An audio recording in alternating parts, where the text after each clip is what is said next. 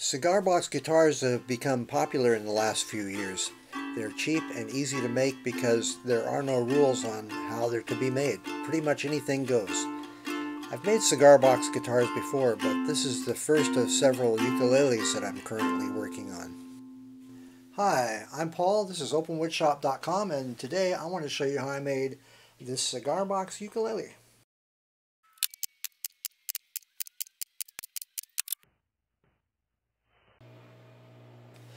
At the beginning of this video you saw a guitar I made using a cigar box from the 1940s. It was broken and needed a lot of repair, but I really liked it a lot, so since then I've made my own cigar boxes patterned after it. The wood I'm using is some sort of mahogany or mahogany-ish wood. It was actually a forklift sticker that was given to me. And there's every chance that because this is a first attempt at this build that it could be a big fat failure. So using this free wood, which actually looks pretty nice, makes more sense than wasting a nice piece of expensive exotic wood. Although this is just a humble cigar box ukulele, I'm taking the opportunity to build some luthier skills. And this is a good opportunity to learn something about inlays, which I haven't done a lot of, so I'm making some veneers for that. I've made other videos of the tools and jigs that I've made and I'll put links below for anyone who's interested. The jig here holds the belt sander and allows me to make paper thin veneers. By soaking the oak veneers I made in water and steel wool for about a week, they will ebonize. This is going to be for some inlays. Real ebony can be expensive, so I'm kind of stingy where I use it. As I mentioned before, the wood that I'm using comes from a forklift sticker, so it's not wide enough to make a one-piece or even a two-piece back, so a three-piece back is what it will be. In doing this project, I've learned a lot, so when I look back on this video uh, when it was shot, I think I would do some things a little different, but in the end, it turned out okay, so I guess it's all good.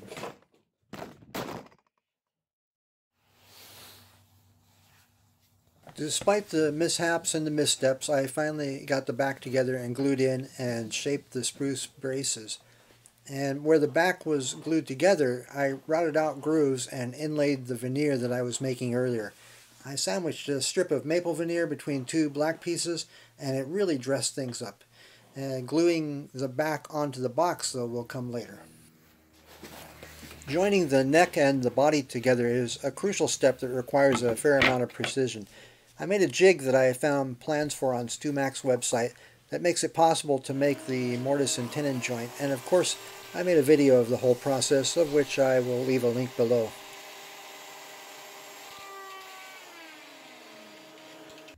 I didn't shoot any video while using it on this ukulele but I did for another uke that I'm still in the process of making so I'm using that video here for demonstration purposes.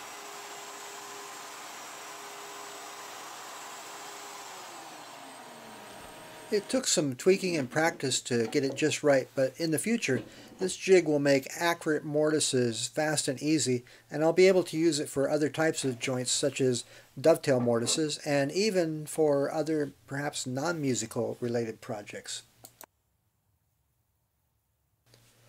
Clamping a neck so that it can be shaped can be a challenge, especially when the neck is very short. So I came up with a way that seems to work pretty well for me, and yes, there is a short video about it that I made, and yes, there will be a link below. In this case, I'm making a bolt-on neck, so there's already a threaded insert in, and so it just bolts onto the jig very easily. But I think if you're joining it with, say, a dovetail, you might be able to use a screw, or it might even be worth it to put an insert in, and when you're all done, take it out and dowel plug it, or it probably wouldn't hurt just to leave it in. As you can see, you can turn the neck in almost any direction and clamp the jig into the vise in almost any direction. The spring clamp firms up the neck to the jig and it also takes some of the stress off from the insert, which is the only point of contact. I think there is some room for improvement in this simple jig, and I'm sure I'll keep working on it for a while. And if there's any viewers out there that have any ideas, please feel free to share them in the comments below.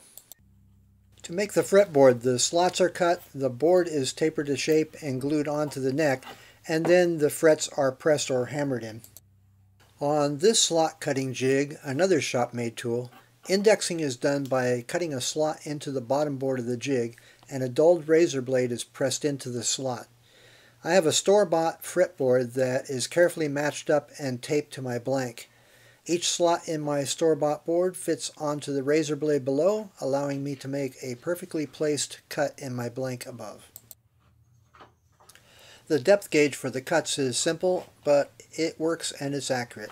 If I have fretboards that are a different width or thickness, I'll have to make another one, but who knows, I might even come up with something more advanced.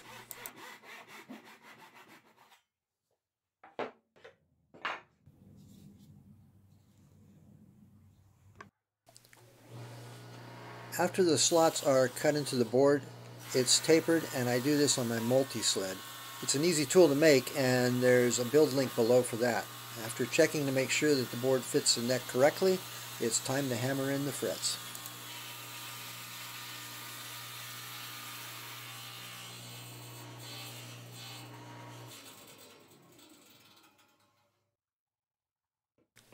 There are plenty of tutorials on the internet on how to fret an instrument.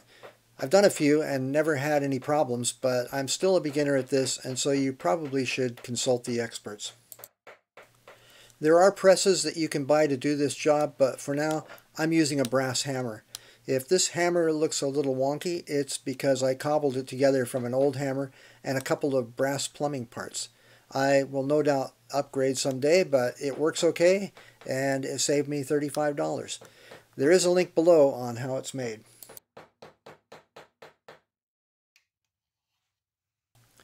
At this point, it's time to fit the nut and bridge. I have some Ipe ironwood that I use for both the fretboard and the bridge.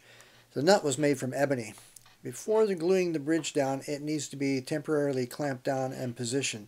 And this requires the instrument to be strung up and slots cut in the saddle and nut.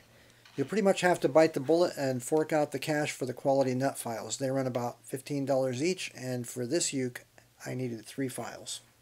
Intonation is checked, bridge adjusted, position marked, and then it's glued down.